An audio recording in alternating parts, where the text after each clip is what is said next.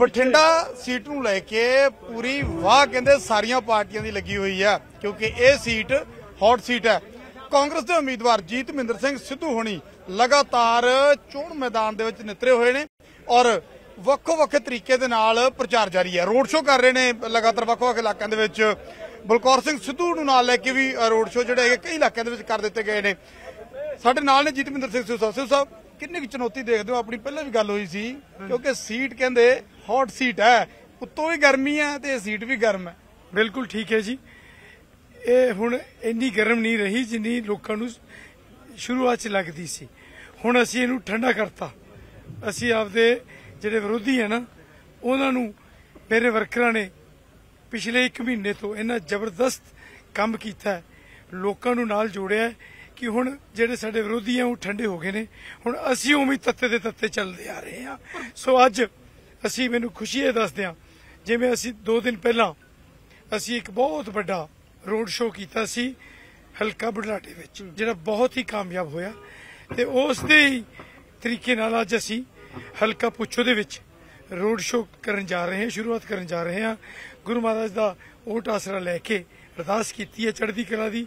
ਤੇ ਹੁਣ ਅਸੀਂ ਬਸ 5 ਮਿੰਟਾਂ 'ਚ ਅਸੀਂ ਇਹ ਰੋਡ ਸ਼ੋਅ ਕਰਕੇ ਇੱਥੋਂ ਸ਼ੁਰੂ ਕਰਕੇ ਪੁੱਛੋ ਮੰਡੀ ਤੱਕ ਅਸੀਂ ਇਹਨੂੰ ਖਤਮ ਕਰਾਂਗੇ। ਪਰ ਉਧਰੋਂ ਅਕਾਲੀ ਦਲ ਕਹਿੰਦਾ ਹੈ ਕਿ ਬਠਿੰਡਾ ਸੀਟ ਤੇ ਤਾਂ ਭਲਾ ਜਿੰਨਾ ਮਰਜ਼ੀ ਜ਼ੋਰ ਲੱਗ ਜੇ ਬਠਿੰਡਾ ਸੀਟ ਨਹੀਂ ਸੱਜੇ ਖੱਬੇ ਹੋਣ ਦੇਣੀ। ਹਾਲਾਂਕਿ ਉਧਰੋਂ ਸੱਤਾਧਾਰ ਗੁਰਮੀਤ ਸਿੰਘ ਖੁੱਡੀਆਂ ਹੋਰੀ ਵੀ ਕੋਈ ਕਸਰ ਨਹੀਂ ਛੱਡ ਰਹੇ। ਕਿਵੇਂ ਦੇਖਦੇ ਹੋ? ਇਦਾਂ ਸਾਰੀਆਂ ਚੁਣੌਤੀਆਂ ਦੇ ਵਿੱਚ ਦੀ ਕਿਵੇਂ ਰਾਹ ਬਣਾਉਣਾ ਹੈ? ਰਾਹ ਤਾਂ ਬਣ ਗਿਆ ਜੀ। ਜਦੋਂ ਲੋਕੀ ਤੁਹਾਡੇ ਨਾਲ ਨੇ ਵੋਟਾਂ ਲੋਕਾਂ ਨੇ ਪਾਉਣੀਆਂ ਨਾ ਕਿ ਬਾਦਲ ਕਿਆਂ ਦੇ ਖੁੱਡੀਆਂ ਨੇ। ਜੇ ਜੋ ਲੋਕਾਂ ਨੇ ਵੋਟਾਂ ਪਾਉਣੀਆਂ ਲੋਕੀ ਮੇਰੇ ਨਾਲ ਨੇ।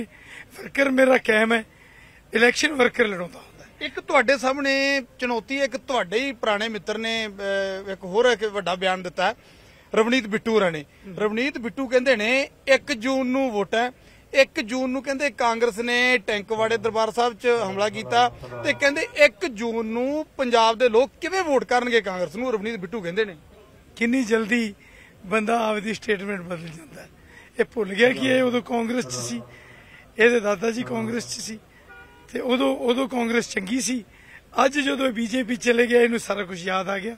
ਸੋ ਇਸ ਕਰਕੇ ਲੋਕਾਂ ਨੂੰ ਸਭ ਕੁਝ ਪਤਾ ਹੈ ਕੌਣ ਕਿਹੀ ਜੀ ਸਿਆਸਤ ਕਰ ਰਿਹਾ ਹੈ। ਮੈਂ ਸਮਝਦਾ ਹੁਣ ਜੋ ਸਮਾਂ ਹੈ ਨਾ ਹੁਣ ਉਹ ਸਮਾਂ ਕਿ ਲੋਕੀ ਕੰਮ ਭਾਲਦੇ ਨੇ। ਲੋਕੀ ਇਹ ਚਾਹੁੰਦੇ ਨੇ ਕਿ ਕਿਹੜੀ ਪਾਰਟੀ ਸਾਡੇ ਵਾਸਤੇ ਕੀ ਕਰ ਸਕਦੀ ਹੈ। ਪਰ ਜੂਨ ਦਾ ਵੀ ਕਿਤੇ ਨਾ ਕਿਤੇ ਜੀ ਵੱਡਾ ਮਸਲਾ ਕਿਵੇਂ ਲੋਕਾਂ ਦੀਆਂ ਭਾਵਨਾਵਾਂ ਨੂੰ ਕਿੱਦਾਂ ਬੈਲੈਂਸ ਕਰੋਗੇ? ਹਰ ਤੋਂ ਲੱਗਦਾ ਕਿ ਚੁਣੌਤੀ ਹੈ?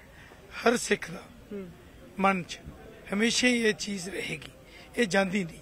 ਪਰ ਮੈਂ ਸਮਝਦਾ ਇਹਨੂੰ ਸਿਆਸਤ 'ਚ ਰੰਗ ਦੇਣਾ ਅੱਜ ਉਹ ਵੀ ਬਿੱਟੂ ਵਰਗੇ ਲੀਡਰ ਨੂੰ ਉਹਨੂੰ ਸ਼ੋਭਾ ਨਹੀਂ ਦਿੰਦਾ। ਤੁਸੀਂ ਲੱਗਦਾ ਕਿ ਲੋਕਾਂ ਨੂੰ ਆਪਣੇ ਨਾਲ ਤੋਰ ਸਕੋਗੇ? ਇਹਨਾਂ ਇਹਨਾਂ ਭਾਵਨਾਵਾਂ ਤੇ ਜਜ਼ਬਾਤਾਂ ਦੇ ਦੌਰਾਨ? ਬਿਲਕੁਲ ਤੁਰ ਸਕਾਂਗੇ ਲੋਕੀ ਤੁਰ ਰਹੇ ਨੇ ਜੀ। ਤੁਰ ਨਹੀਂ ਸਕਾਂਗੇ ਲੋਕੀ ਤੁਰ ਰਹੇ ਨੇ।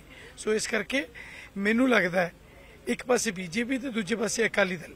ਵੀ ਇਸ ਚੀਜ਼ ਨੂੰ ਐਕਸਪਲੋਇਟ ਕਰਨ ਦੀ ਕੋਸ਼ਿਸ਼ ਕਰ ਰਿਹਾ ਮੈਂ ਦੇਖਿਆ, ਪਹਿਲੀ ਵਾਰ ਐਸਜੀਪੀਸੀ ਨੇ ਇਸ ਆਪਰੇਸ਼ਨ ਬਲੂ ਸਟਾਰ ਦੇ ਜੋ ਵੱਡੇ ਵੱਡੇ ਬੈਨਰ ਸਮੁੱਚੇ ਹਲਕੇ ਬਠਿੰਡੇ ਚਲਾਏ ਨੇ।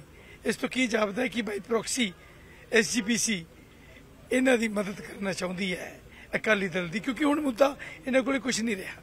ਬੀਬਾ ਹਰਸਿਮਰਤ ਕੌਰ ਬਹੁਤ ਪਿਛੜ ਗਈ ਹੈ। ਹੁਣ ਹਰ ਹੀਲਾ ਇਹ ਲੱਭ ਰਹੇ ਨੇ ਜਿਹਦੇ ਨਾਲ ਕੁਝ ਇਹਨਾਂ ਦੀ ਪਕੜ ਹਲਕਾ ਬਠਿੰਡੇ ਚ ਬਣ ਸਕੇ ਜਿਹੜੀ ਕਿ ਨਹੀਂ ਬਣਨੀ। ਅੱਛਾ ਇਸ ਜੂਨ ਦੀ ਚੁਣੌਤੀ ਦੇ ਬਾਵਜੂਦ ਕੀ ਲੱਗਦਾ ਕੀ ਸਥਿਤੀ ਰਹੇਗੀ?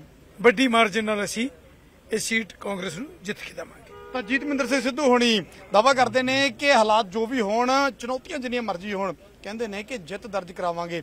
ਪਰ ਕਿਤੇ ਨਾ ਕਿਤੇ ਜੂਨ ਵਾਲਾ ਮਸਲਾ ਜੂਨ 84 ਦੇ ਵਿੱਚ ਜੋ ਕੁਝ ਹੋਇਆ ਉਸ ਨੂੰ ਲੈ ਕੇ ਕਹਿੰਦੇ ਨੇ ਕਿ ਰਵਨੀਤ ਬਿੱਟੂ ਦਾ ਇਹ ਬਿਆਨ ਕਹਿੰਦੇ ਇੰਨੀ ਜਲਦੀ ਕਿਵੇਂ ਬਦਲ ਸਕਦਾ ਹੈ? ਕਿਉਂਕਿ ਰਵਨੀਤ ਬਿੱਟੂ ਵੀ ਕਹਿੰਦੇ ਨੇ ਕਿ ਉਸ ਵੇਲੇ ਕਾਂਗਰਸੀ ਖੈਰ, ਪੰਜਾਬ ਦੇ ਕੀ ਹਾਲਾਤ ਰਹਿਣਗੇ, ਬਠਿੰਡਾ ਦੇ ਕੀ ਹਾਲਾਤ ਰਹਿਣਗੇ, ਸਮਾਂ ਦੱਸੇਗਾ। ਪਰ ਵਾਰ ਪਲਟਵਾਰ ਜਾਰੀ ਹੈ। ਕੈਮਰਾਮੈਨ ਵਿਨੋਦ ਨਾਲ ਨਪਿੰਦਰ ਸਿੰਘ ਬਰਾੜ, ਨਿਊਜ਼ 18 ਬਠਿੰਡਾ।